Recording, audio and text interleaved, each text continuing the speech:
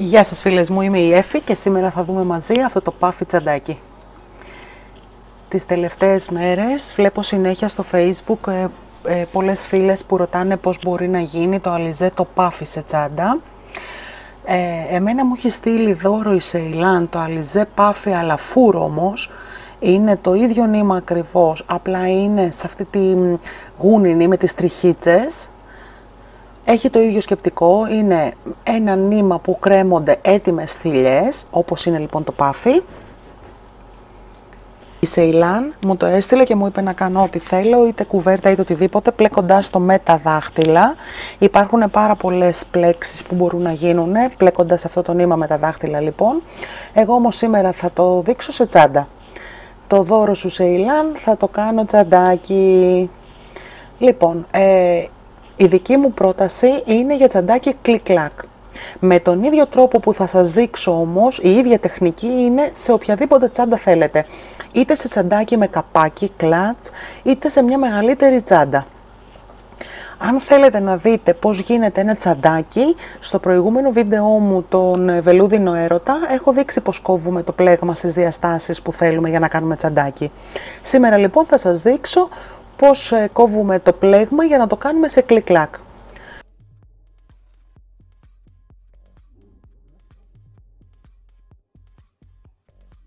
Πρώτα απ' όλα ξέρουμε ότι χρειαζόμαστε τις διαστάσεις για το τσαντάκι μας. Πρώτα απ' όλα λοιπόν κοιτάμε ο πάτος πώς είναι. Εγώ ξεκίνησα από τα πλαϊνά.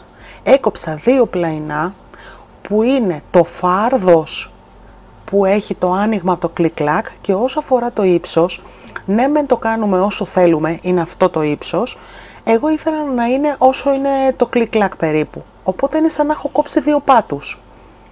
Όσο είναι δηλαδή το άνοιγμα, έκοψα τα δύο πλαϊνά, τα οποία θα είναι αυτά. Έτσι προκαθορίζεται το ύψος από το τσαντάκι μου.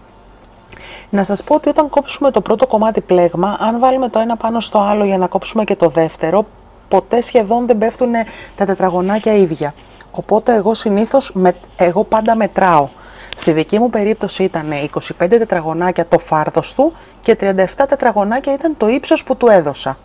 Πήγα λοιπόν σε άλλο κομμάτι πλέγμα, έβαλα σημάδι και έκοψα 25 τετραγωνάκια επί 37 το ύψος. Εσείς κόφτε το πρώτο πλαϊνό ανάλογα με το ύψος που θέλετε και αφού το καθαρίσετε γύρω γύρω μετρήστε τα τετραγωνάκια και κόψτε και το άλλο κομμάτι ίδιο. Το επόμενο βήμα είναι να κόψουμε τον κορμό της τσάντας. Ο κορμός είναι ένα μονοκόμματο κομμάτι πλέγμα που είναι υποχρεωτικά όσο είναι το φάρδος του κλικλάκ. Το ύψος, που ποιο είναι το ύψος, αυτό εδώ που έχω δώσει στο πλαϊνό μου. Ο πάτος, ποιος είναι ο πάτος, αυτό εδώ το φάρδος και ξαναγυρνάει άλλο ένα ύψος.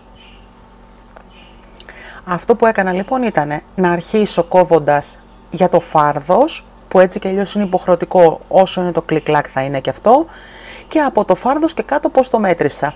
Είπα ότι έχω 37 τετραγωνάκια στο ύψος. Μέτρησα 37 και στον επόμενο πόντο, στην επόμενη τρυπούλα έβαλα ένα ποντοδείκτη. Πόσο ήταν το φάρδος του πάτου, το πλαϊνό προκαθορίζει τον πάτο, 25 τετραγωνάκια. Άφησα 25 τετραγωνάκια και στο επόμενο έβαλα ένα σημάδι, ένα ποντοδείκτη. Και μετά ξανά 37 τετραγωνάκια που είναι το επόμενο ύψος μου. Δηλαδή είναι σαν να έχουμε κάνει αυτό. Ήψος, πάτος και ύψος. Όταν λοιπόν δηλαδή πλεκτεί αυτό το κομμάτι, μόλις το διπλώσουμε έτσι και βάλουμε και τα πλαϊνά, έχει γίνει το κουτί, το κορμί της τσάντας. Επάνω είναι ανοιχτό για να βάλουμε το κλικλάκ. Άρα βάσει του κλικλάκ που έχετε, προκαθορίζουμε το μέγεθος της τσάντας μας.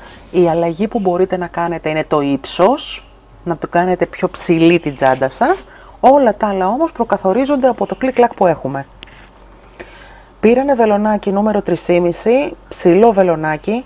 Το νήμα δεν μας δεσμεύει, είναι, είναι μαλακό πολύ και πιάνεται με όλα τα βελονάκια. Εμένα όμως με ενδιαφέρει να περνάει από το πλέγμα. Έχω πλέγμα με μικρά τετραγωνάκια, οπότε θέλω να περνάει άνετα για να μην ζορίζομαι. Πάμε να δούμε τι κάνουμε. Θα ανοίξω μπροστά μου το νήμα. Το γυρνάω να είναι σωστά, να μην στρίβει πολύ. Είτε αυτό είτε το πάφι το ίδιο πράγμα είναι. Και θα μπω στο τετραγωνάκι από το πλέγμα, θα πιάσω τη θηλιά την έτοιμη και τη φέρνω επάνω.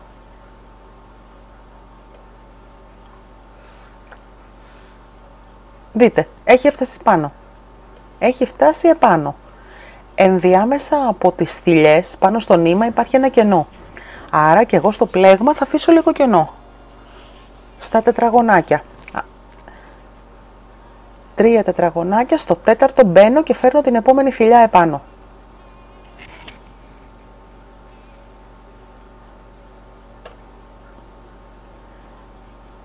Ένα, δύο, τρία, στο τέταρτο τετραγωνάκι μπαίνω και περνάω τη θηλιά επάνω.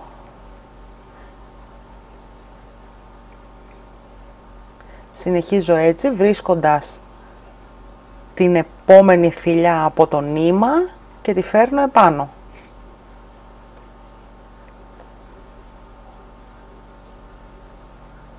Η αμέσως επόμενη θηλιά μου την φέρνω επάνω. Στο τέταρτο. Έτυχε σε μένα τώρα και έπεσε ακριβώς ο ένα είναι το τέταρτο τετραγωνάκι το τελευταίο. Εάν σας περισσεύουν τρία θα το βάλετε πιο κοντά, αν σας περισσεύουν περισσότερα θα το βάλετε λίγο πιο μακριά. Πιστέψτε με, δεν θα κάνει καμία διαφορά. Αυτή ήταν η πρώτη μας σειρά. Αυτό γίνεται, από πάνω βγαίνουν οι θηλιές οι έτοιμες και από κάτω είναι πιο λίγο. Επειδή είδα ότι γίνανε ερωτήσεις αν αυτά μένουν έτσι, είτε στο πάφι είτε σε αυτό το νήμα. Τα αφήνουμε έτσι, δεν παθαίνουν τίποτα. Δεν πρόκειται η φυλιά να ξυλωθεί, γιατί από πίσω θα είναι όλο αυτό το λίο, αλλά η θηλιά πρέπει κάποιος να την τραβήξει για να βγει από κάτω. Δεν βγαίνει έτσι. Είναι η άκρη του νήματός μου και αυτή, θα την στερεώσω και αυτή μέσα και όλα θα είναι στη θέση τους. Πάμε να δούμε και την επόμενη σειρά. Θα αφήσω μία σειρά κενή, μία ολόκληρη σειρά, γιατί ήδη αν κάνετε λίγες σειρές θα δείτε ότι γίνεται πάρα πολύ πλούσιο. Δεν χρειάζεται σε κάθε σειρά να το κάνουμε. Αφήνουμε λοιπόν μία κενή και πάμε στην επόμενη και φέρνουμε πάνω τη θηλιά μας. Λοιπόν, εγώ τώρα τι θα κάνω. Θα το κάνω λίγο zigzag για να μην μένουν συνέχεια τα ίδια κενά και γίνεται ευθεία. Για να μου γεμίσει πιο πολύ το πλέγμα λοιπόν, θα το κάνω να αλλάξει τις σειρές. Δηλαδή, θα αφήσω, ξέρω εγώ, θα αφήσω σε αυτή τη σειρά ένα πόντο για να πάω στον ενδιάμεσο από την από πάνω σειρά περίπου. Δεν μετράμε, με το μάτι βλέπουμε που είναι περίπου το ενδιάμεσο. Τώρα συνεχίζω κανονικά. Μετράω τρία τετραγωνάκια, στο τέταρτο μπαίνω και πέφτω στο ενδιάμεσο κενό από την πάνω σειρά μου.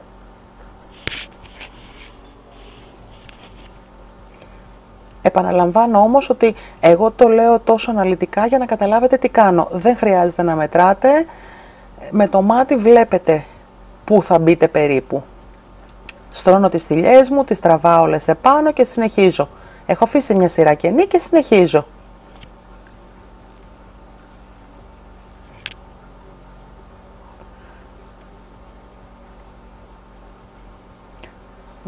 Πρώτα με το δάχτυλό μου βρίσκω την επόμενη θηλιά για να μην την ψάχνω. Μετράω τα τετραγωνάκια μου και μπαίνω και περνάω επάνω τη θηλιά μου.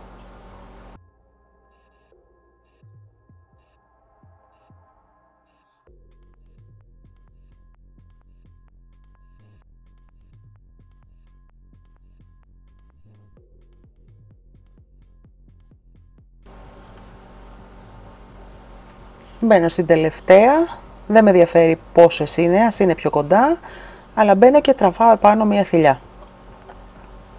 Έχω κάνει ήδη δύο σειρές. Είναι πάρα πολύ εύκολο, πάρα πολύ γρήγορη διαδικασία.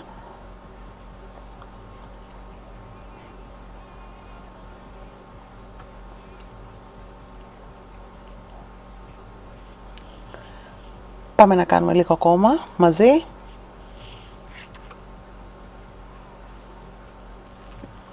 Πάντα στην επόμενη θηλιά βάζω το δάχτυλό μου μέσα για να μην την αφήσω ή για να μην την ψάχνω.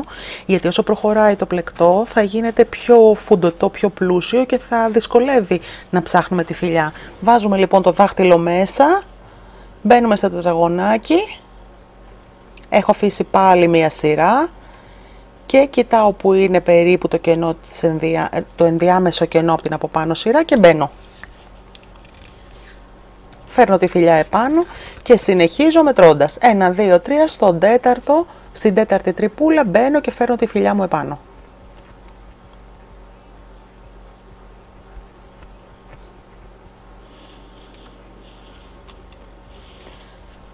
Αυτό είναι φίλες μου. Απλά τραβάμε και φέρνουμε τις θηλιές επάνω.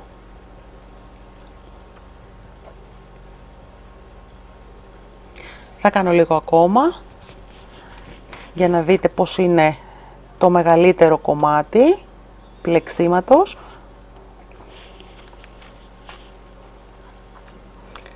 Θα το προχωρήσω λοιπόν λίγο για να δείτε πώς φαίνεται πιο πολύ πλεγμένο.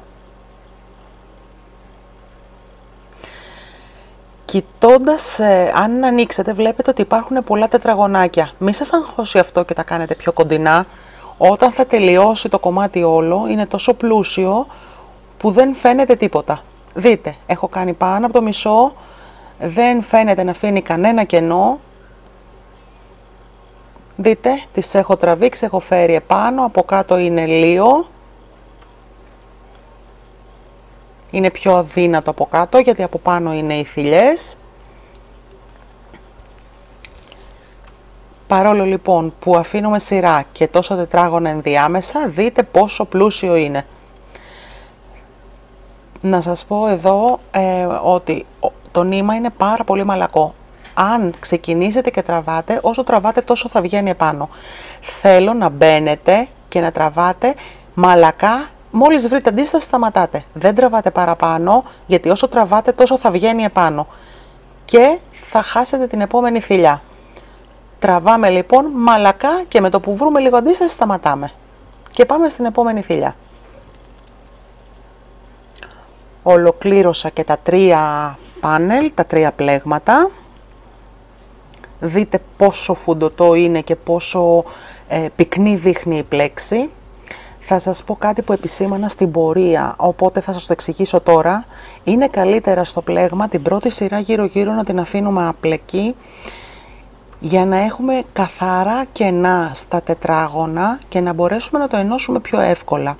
Όπως επίσης ότι στο κέντρο του πλαϊνού και στο κέντρο του πάτου που έχουμε σημαδέψει έβαλα πάλι σημάδια για να ξέρω που είναι ακριβώς τα κέντρα μου γιατί θα με βοηθήσουν στην ένωση. Θα πράξω με τον ίδιο τρόπο που σας έχω δείξει πολλές φορές με το πώς ενώνουμε πλαϊνά στις τσάντες. Κέντρο με κέντρο λοιπόν θέλω, άρα πριν το πλέξω και ψάχνω μετά μία ώρα βρίσκω το, τα κέντρα και βάζω ένα σημάδι. Επίσης να σας πω ότι για αυτό το τσαντάκι όλο που είναι αρκετά μεγάλο χρησιμοποίησα τρεις κούκλες παφι ε, φουρ, φουρ και μου περίστεψε και όλο αυτό. Παίρνουμε ένα νήμα όσο πιο κοντά στο χρώμα του παφι ή του παφι φουρ έχουμε. Πιστέψτε με, ε, δεν θα φαίνεται καθόλου μα καθόλου η ένωση, απλά έψαξα να βρω ένα νήμα που να ταιριάζει λίγο το χρώμα. Πάμε να ξεκινήσουμε. Έχω βάλει τρία σημάδια στο μεγάλο κομμάτι. Ο πάτος και το κέντρο του πάτου. Στο κέντρο λοιπόν βάζω το νήμα μου. Με νήμα και βελόνα ενώνω.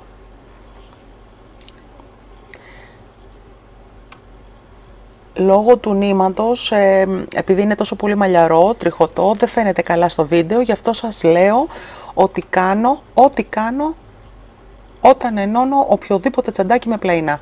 Κέντρο με κέντρο ενώνω για να είμαι σίγουρη ότι θα μου βγει ίσια. Επειδή ούτως ή αλλιώς δεν φαίνεται καθόλου, θα κάνω και ένα κόμπο να το σταθεροποιήσω.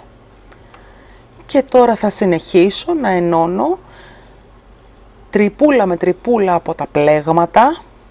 Θα σπρώχνω με τα χέρια μου να φανερωθεί το πλέγμα γιατί ε, είναι φουντωτό το νήμα και απλά ράβω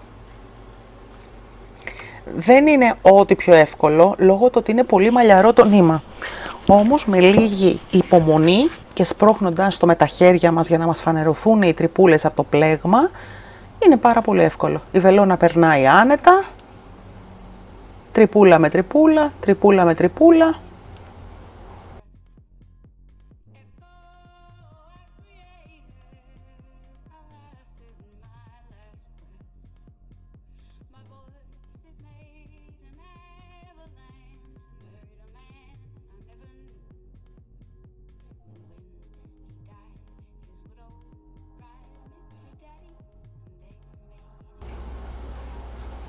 Δείτε, απλή ένωση κάνω, που δεν φαίνεται καθόλου μα καθόλου όταν ολοκληρώσουμε.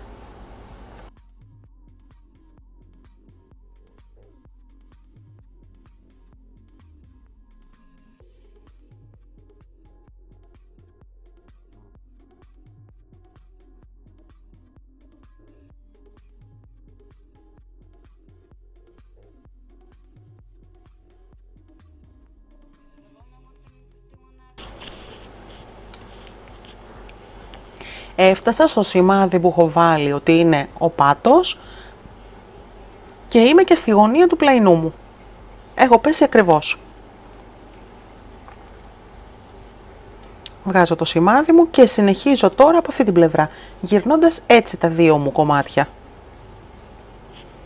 Και μετά κάνουμε την επόμενη. Με αυτόν τον τρόπο ενώνουμε και τα δύο πλαϊνά. Αφού ένωσα τα δύο πλαϊνά μου, συνεχίζω με τον τρόπο που κάνουμε πάντα, που τοποθετούμε πάντα τα πλεκτά μας σε ένα κούμπομα κλικλάκ. Στρώνουμε όμορφα το πλεκτό μας εσωτερικά. Εγώ πάντα χρησιμοποιώ κλειψάκια για να σταθεροποιήσω το πλεκτό μου, κάνω την προετοιμασία μου. Το ίδιο θα κάνω και εδώ. Για να το φέρω ίσια και όμορφα και μετά θα ξεκινήσω και θα ενώσω με βελόνα και κλωστή. Έχουμε πει ότι στα πλαϊνά βάζουμε κέντρο και το κέντρο το τοποθετούμε ακριβώς στο κέντρο του κλικλάκ για να μην μας στρίψει το τσαντάκι μας. Κέντρο από το πλαϊνό με κέντρο του κλικλάκ.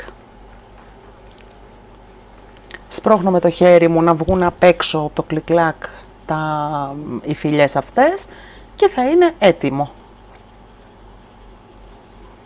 Να το λοιπόν το τσαντάκι μου. Έχω ενώσει με βελόνα και κλωστή. Δεν θα σας πω ότι ήταν απίστευτα εύκολο, αλλά δεν είναι και δύσκολο. Μέτριος βαθμός δυσκολίας η ένωση, απλά λίγο πιο χρονοβόρα. Όταν ε, ενώνουμε κλικ-κλακ με πλεκτό, πάμε και χώνουμε το πλεκτό μας ε, μέσα στο κλικ-κλακ και περνάμε μία και έξω, πάνω κάτω, πάνω κάτω, μαζί με τις τρύπες.